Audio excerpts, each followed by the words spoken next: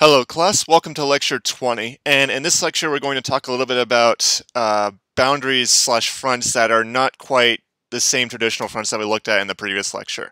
So in the previous lecture we primarily focused on boundaries that separate cold stable air from uh, warm moist unstable air.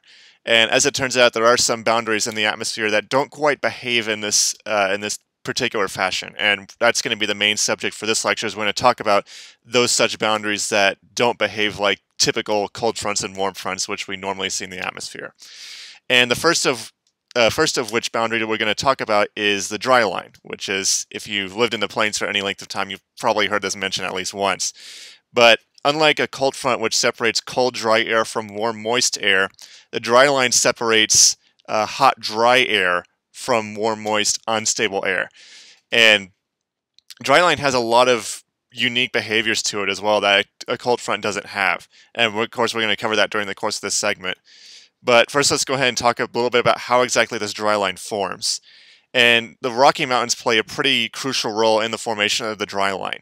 Uh, atop the Rockies, you typically have relatively warm, even in uh, some cases very hot air, and it's very dry up in the Rocky Mountains. And as you get really strong westerly flow over the mountains, that then brings the air down the other side of the mountains. And as you go from uh, the top of the mountains down to the plains, that air is going to get compressed as it goes to, goes from an area of lower pressure to higher pressure, and that compression causes additional warming within the air that's coming down the mountains. So you end up with a very hot and dry air mass, and then ahead of the ahead of that current of west air of westerlies, you've got warm, moist air, which is occurring at the surface, and the dry line separates the warm, moist air, which you typically find ahead of, of a, ahead of an approaching cyclone, and then behind that cyclone you'll have a current of hot, dry air, and the dry line is a boundary that separates the really warm, moist air over the plains and the really hot, dry air that's coming from the Rockies. And dry lines most commonly occur in the plains. They're a fairly regular occurrence, especially in the springtime, but these can also occur in other parts of the world. In fact, the Himalayas can also create a, a, boundary that resembles a dry line in parts of India, and to some extent, the Andes mountain range in South America can also create boundaries that resemble a dry line. But by far, the best cases of dry lines do occur over the plains, and that's just due to the unique topography of the plains. The really tall Rocky Mountains out to the west of here, and then you have the Gulf of Mexico supplying a nice contrast to that hot, dry air by allowing warm, moist air to uh, be pulled northward ahead of the hot, dry air. And another one of the really interesting things about dry lines is if you were to craft a boundary that is most favorable for tornado outbreaks, it would be harder to find a boundary that is more ideal than a dry line. And we're going to highlight some of the reasons for that. For one, the vertical motions, that is the upward motions along a dry line, tend to be weak. And if you have weak upward motions, then you're much more likely to get isolated thunderstorms, which means you're also much more likely to get supercells. And supercell thunderstorms are those rotating thunderstorms that can produce these strong to violent long track tornadoes. Of course, it is possible to get uh, vertical motions that are too weak, in which case you don't get any storms forming at all. But you don't want just you don't want motions that are too strong. Otherwise, too many storms go up and they all interfere with each other. But you also don't want the motions to be too weak. Otherwise, you don't get any storms at all.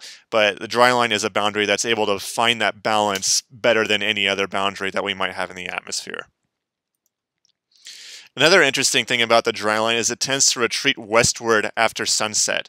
And this is in contrast to a cold front, which tends to accelerate forward after sunset. Once the cooler air cools off even more, uh, the dry line does the opposite. It actually wants to retreat westward on a typical day after sunset. And this means that your thunderstorms are not going to be uh, undercut, which is the uh, sort of an informal term, by stable air. So to sort of contrast this, I'll show you a diagram that sort of illustrates what happens with a cold front. So after sunset, the cold front tends to accelerate forward, which means this current of cold, dry, and stable air is accelerating forward, and that tends to undercut the thunderstorm updraft. So the thunderstorm struggles to get to maintain its fuel supply as this cold and stable air uh, gets underneath it and basically chokes off its supply of warm, moist air in which case it does two things. It either dissipates or it becomes elevated, which means it's not drawing in warm, moist air from the surface. So this is one reason you can get tornado outbreaks from cold fronts, but it's much harder. Uh, dry line is much more ideal for a tornado event of some kind. and contrast this with a dry line, which retreats westward. So now the stable air is moving away from the thunderstorm updraft. So that means the thunderstorm is allowed to be is allowed to remain surface based. It's allowed to keep drawing in warm, moist air from a layer of air near the surface, as opposed to a cold front, which chokes off that fuel supply. It chokes off the supply of warm, moist air, which is originating from the surface. So that's why that's one of the reasons why dry lines are so ideal for tornado events is because they retreat westward, and in the process of retreating westward, it allows the thunderstorms to continue even after sunset. So that means the thunderstorms are able to access those strong low-level jet winds, which are really conducive for producing low-level rotation, which also favors the production of tornadoes. And of course, we'll talk more about how to put all put all that together once we get into some of the later topics of the severe weather unit.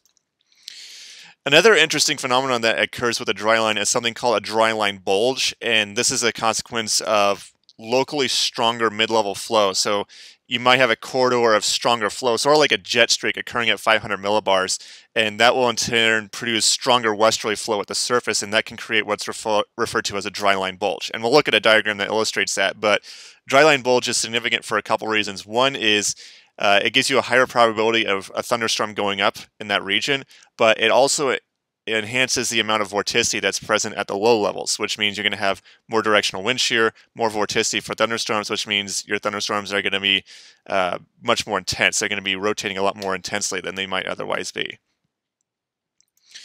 And another key thing that makes dry lines so ideal is typically a dry line is perpendicular to the flow aloft. And if you're looking for isolated thunderstorms, that is not a squall line, which squall lines can also produce tornadoes, but they don't typically produce strong to violent tornadoes. But when you've got a flow that's perpendicular to a boundary, that means you're much more likely to get isolated thunderstorms. You not guaranteed to get isolated thunderstorms, but you're much more likely to get isolated thunderstorms if your boundary and uh, your flow aloft are perpendicular to each other. So typically a dry line extends in the south to north direction, and usually the winds aloft are running from west to east, so the winds are running per perpendicular to the dry line at the surface. So if you look at this from a top-down perspective during the daytime, this is typically what you'll see. You'll see something like uh, what's shown on the screen here. You'll have some sort of cyclone, a nice warm front, and then the dry line, which will separate hot, dry, stable air from warm, moist, unstable air. Now, I call this stable air. It's actually possible to, on occasion, get thunderstorms to form in this region of hot, dry air, but it's not really that common to see, but it can occur. And one of the other really interesting things about dry line is where the vertical motions actually take place, where those upward motions actually take place. So if you if you take a look at the density of each air mass that's separated by a boundary, so in the case of a cold front, the warm moist side has a lower density than the cold dry side, and the upward motions on a cold front tend to be on the warm moist side. They tend to be on the warm side of the cold front. Dry line, something really interesting happens. When you take a look at the density of the hot dry air, you typically get a density of, this is just some typical values that you might see in a dry line. So you might see a temperature of mid 90s, dew point lower 20s, maybe even lower than that on a really extreme case. And then it'll give you a density like so, and then a typical value that you might see in the warm sector. So maybe temperature mid to lower 80s, dew point lower 70s, upper 60s. And the what's really interesting is this warm moist air is actually denser than the hot dry air. And something that you'll prove as part of your later dynamics courses is when you've got some sort of boundary like this, the upward motions typically occur on the side that has the lower density. So that means in the case of a dry line, the upward motions actually occur on the stable side of the boundary during the daytime, and the downward motions occur on the unstable side of the boundary. And this is thought to be one of the reasons why you tend to get isolated thunderstorms developing. You get those weak, you don't get tend to get a lot of thunderstorms developing along a dry line is because the circulation is actually upward on the stable side and downward on the unstable side. And you might be wondering, how do you even get thunderstorms forming at all if that's the case? And that has to do with the vertical structure of the dry line itself, which is something you'll talk about in your mesoscale meteorology class in your senior year. But it's really interesting to see that you actually, in the case of a dry line, your upward motions are actually on the stable side of the boundary, as opposed to a cold front or warm front where the upward motions are typically on the unstable side. And this is sort of depicting what uh, we might refer to as a dry line bulge. So again, you might have a corridor of relatively strong winds at around 500 millibars, which again might show up as, or might resemble a jet streak. And when those really stronger winds come down to the surface, which is how a dry line forms, that can result in what's referred to as a dry line bulge, which is so named because the dry line is bulged. And as a result, that typically results in more of a southeasterly flow right at the apex of the bulge, right on the northern side of the bulge. And so now you've got southeasterly flow that's veering to the west aloft. So you've got really strong directional shear that's present in the lowest one to three kilometers when you've got a dryline bulge. And on the south side of the bulge, you don't get as much directional shear, but you might still get enough directional shear to favor rotating thunderstorms like supercells. And the probably what's most interesting about the dry line is what happens at night. Well, for one thing, it tends to regress westward during the night. So it tends to move from east to west during the nighttime and then from west to east during the daytime. And as this uh, region of hot, dry air cools off, since the air is really dry, it tends to cool off much more rapidly than the air that's uh, warm and moist ahead of the cyclone or ahead of the dry line. And as a result, the density rises really quickly. It gets really cold and it gets really dry. So now the the, the side with the greatest density is now on the cold side, the stable side, and now the warm side now has uh, the lower density. And again, the vertical circulate, the upward motions typically occur on the side with the uh, less dense air. So that means at nighttime, the vertical circulation, the dry line, actually reverses direction. So in the daytime, you've got rising motion on the hot, dry side, sinking motion on the warm, moist side. But during the nighttime, on the stable side, you've got sinking motions, and on the unstable side, now you've got rising motions. And on occasion, you can get uh, widespread thunderstorm activity developing after nighttime in the case of a dry line, but that usually doesn't happen because the atmosphere by that time is stable on the warm, moist side, and you can't get any new thunderstorms to form. But on occasion, you can get new thunderstorms forming even after, uh, even after sunset. And again, this is really ideal because you may also remember from our lecture on the low-level jet, right at nighttime is when that low-level wind field intensifies, that wind at 850 millibars that we call the low-level jet, that intensifies. And since the dry line regresses westward with nighttime, then that means uh, the ongoing thunderstorms are not going to be interfered with by other storms or not going to be undercut by the stable air. So any isolated storms that are present uh, as that low level jet is ramping up, have a much higher chance of producing strong to violent long track tornadoes if the other atmospheric conditions are favorable. But that's going to do it on this top on this uh, topic of dry lines. And uh, in the next segment, we're going to talk a little bit about outflow boundaries, which are very similar to cold fronts, but there are a few important differences that we have to keep in mind. So with that, I will see you all in the next segment.